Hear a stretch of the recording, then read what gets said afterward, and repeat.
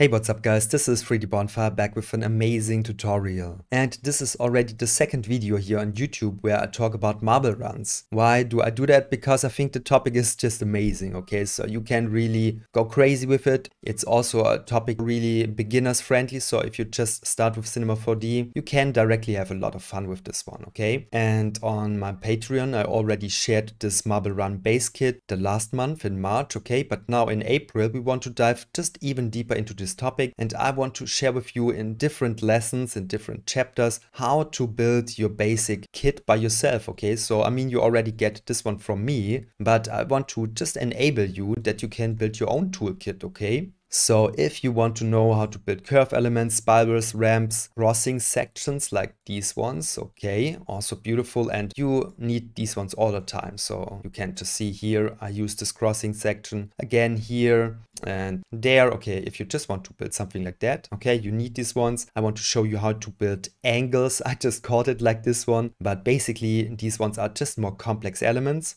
All right.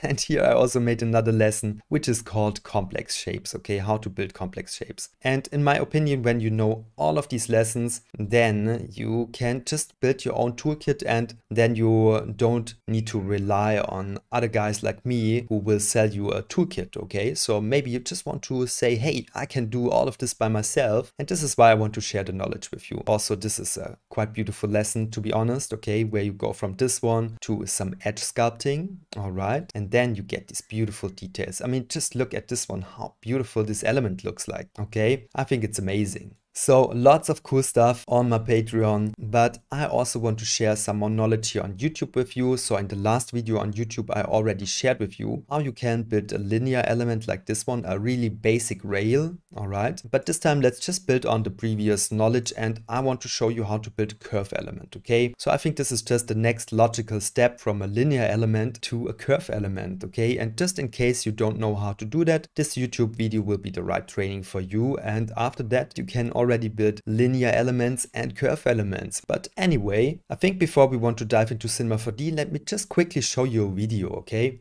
Alright, and here you can see how smooth the physics will work with my setups, okay? So basically all of these elements, I built them with a low-res version for the physics calculations that this one will be really smooth in your viewport, okay? And yeah, you can see you can just build complex structures. You can really go crazy with it and just have fun with it. So I just wanted to prove you that this is just pure fun. All right. So let me also show you this video. I already shared this one with you in the last tutorial on YouTube. Okay. But just see how much fun you can have with these marble runs. All right. Also, the camera movement is really, I think it's beautiful. Okay. So you follow the marble and then you go from the left to the right, right to the left again, zoom in, go back again and just be really dynamic with it, okay? And I'm pretty sure this is some camera knowledge that I also want to share with you soon. Don't know exactly when because first I need to share all of these lessons with you on the on the sculpting and the and the modeling. All right. And by the way, I'm also building an advanced marble runs kit. So you already get the base kit, but I also work on a more advanced kit right now. But I already talked too much. So I think we should dive into the Cinema 4D lesson. So this will be simple, but maybe some of you don't know how to build curve elements, okay? So this will be the right lesson for you. And before we really dive into Cinema 4D, let me just quickly tell you, it would be amazing if you support me here on YouTube. Just ring the bell, subscribe to my channel. Maybe you even want to support me on Patreon so I can make more of these free videos. That would just be amazing. But other than that, let me don't waste your time. Let's dive into Cinema 4D and have some fun, okay? Thank you so much. See you there. Hey, what's up guys? This is 3D Bonfire back with an amazing tutorial. And this time I want to show you how you can create different angles for your marbles toolkit. Okay, so maybe you want to create your own.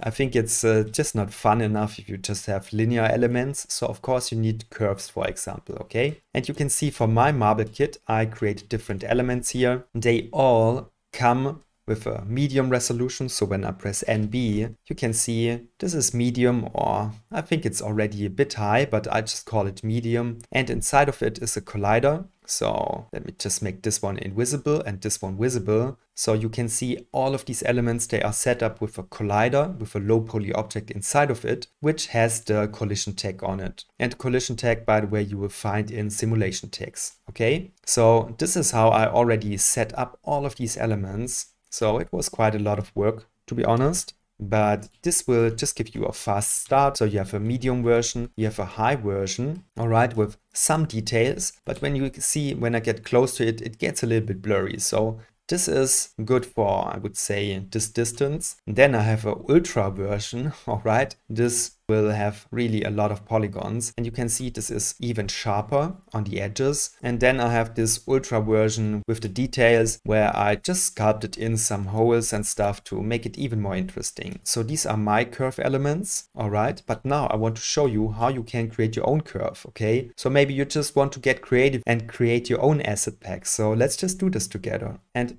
here I have these two rails. I created these ones in the last tutorial, so you should know already how to do it. So maybe we just focus on the collider here and I will just make these elements visible deactivate the extrude object for now and you can see I just have this simple outline here and it consists of a rectangle. All right so let's just see it without the spline mask. It's a rectangle. It's 300 by 82 but of course you can decide these values however you like it. Then I have a circle which is centered in the middle of this line here okay? And in the top I just offset it a little bit higher that you just don't get two lines on top of each other when you make the spline mask. So this is just a little bit higher. You can see when I put it into the middle, it would be like this, but I just move it a little bit up. Okay, and then I put it into a spline mask, B subtract A, and then you will get this one. And then I just extrude it. Okay, so when I press NB, you can see this is my low poly version, and you can set up all of these values by adjusting these numbers here. So for example, you can put this one to 15,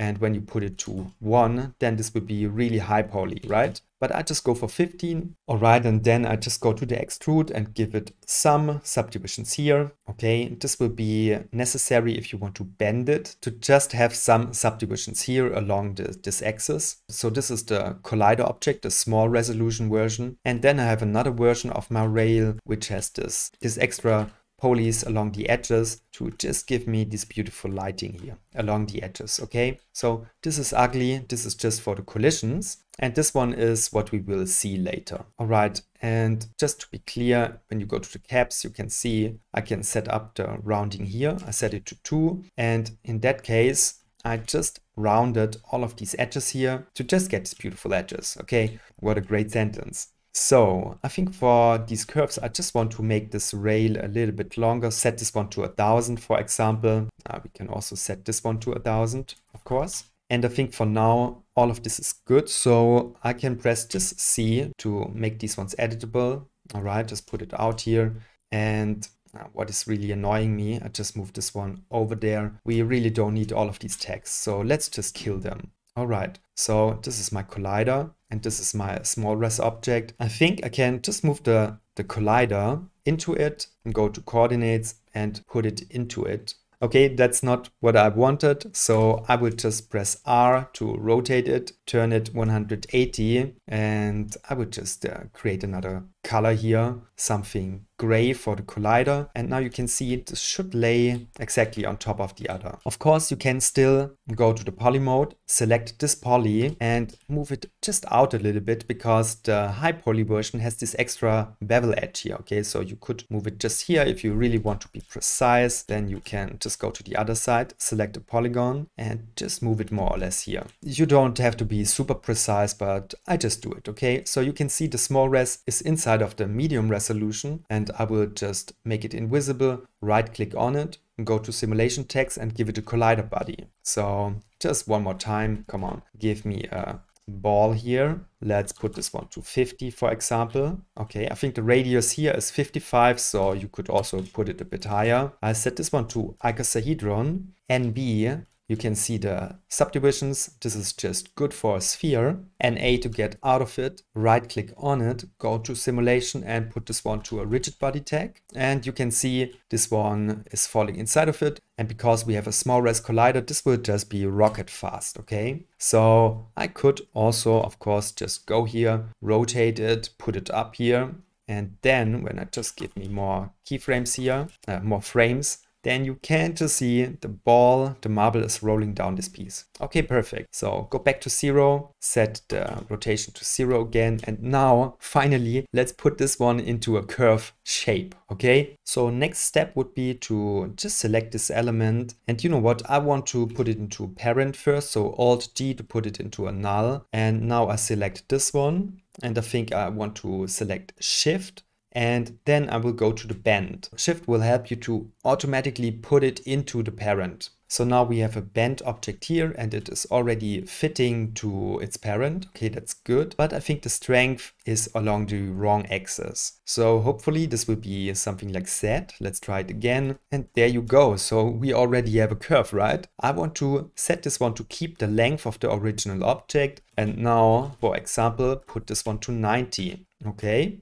And there you already have your curve. You can see you bend the medium resolution and the collider. So this is fine. All right, so we would have a 90 degree curve. Let me just hold down STRG, duplicate it, move this one down. And maybe we also want to make a 45 degree curve. Okay, this is good. All right, I really like this one. And maybe you just want to duplicate both of them, want to put it here and now go inside of it. All right, so you could select both of these elements. It Just make this one invisible. Or maybe just first select this one element, press T for scale and just scale it to 55. No, sorry, to 50, of course. All right. And when I hold down shift, then you can go in increments. Okay. I want to do the same here. Put this one to 55 uh, to 50. Why do I say 55? I don't know. All right, select the band again. Maybe we want to fit it to parent again. Oh no, it's already fitting to it. Okay, that's good. And it is of course because we scaled down the parent object and the bend is inside of it. So of course the bend will also shrink down to 50%. All right, cool. So you will have already four curves here. Okay, that's perfect. And I think this is already everything that you need to know about curves. In a later lesson, I will show you how you can not just create the standard curve with the beveled edge. Okay, this is looking good. So this will be just something that I want to show you later. I will show you how you can make this beautiful edge effect here. Okay, how you can sculpt this one into your objects. Okay, this is just looking so much more interesting, right? So this is giving it this handmade feeling. Okay, I really like it. And of course, I will also show you how you can sculpt this stuff into your into your rails okay so this is just looking more interesting but of course from a distance this one is also working okay they are just a bit more casual okay but for now i think this is good and now you know how you can make round elements in addition to your standard rails. And next thing I want to show you is how to make spirals, okay? So this will also be very interesting. So see you in the next lesson. Thank you so much. Bye guys. All right, and I think this is it, okay? So this was a really short lesson about curves. I'm sorry if this one bored you because you are already an advanced user. Um, I'm really sorry, okay? But I just thought maybe some of you don't know how to build these elements and maybe in the last 20 seconds here. I just wanted to show you that when you combine different curves next to each other, okay, then you can just build all kinds of different shapes, okay? So this looks just from a graphical standpoint really, really amazing, okay? And I just want you to have fun with this. Okay, so thank you so much for your time. I hope that you will subscribe to my YouTube channel. That would be just amazing, okay, if you support me. But anyway, thank you so much for your time. Have a nice day. See you. Bye, guys.